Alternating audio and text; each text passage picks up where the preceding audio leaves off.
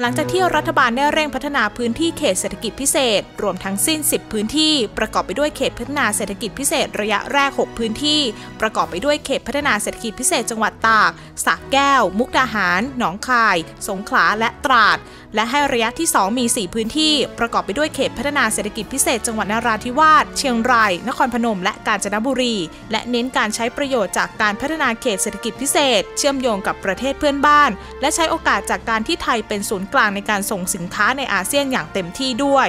ล่าสุดผู้อำนวยการส่งเสริมตลาดในประเทศทีเซ บอกว่าปีนี้ทีเซ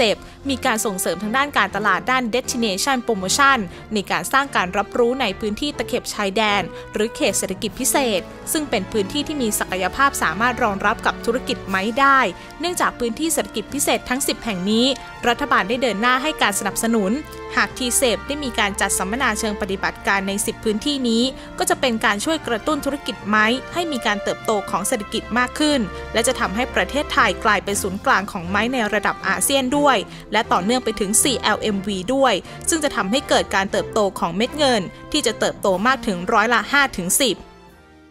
เขตเศรษฐกิจพิเศษเนี่ยนะครับจะเพิ่มในเรื่องของการประชุมที่เราพยายามเน้นนะครับอีก 10 จังหวัดที่เราพยายามมีทั้งเรื่องของอ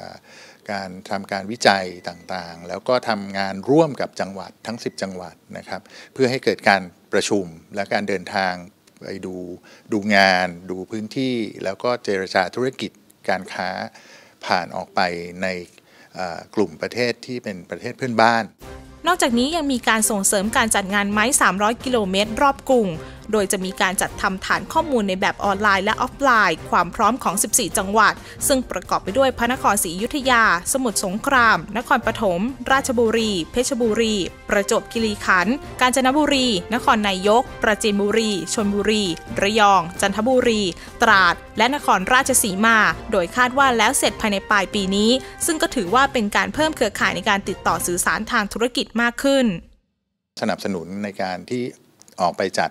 ประชุมสัมมนานะครับ ปีนี้พิเศษหน่อยก็คือเรื่องของ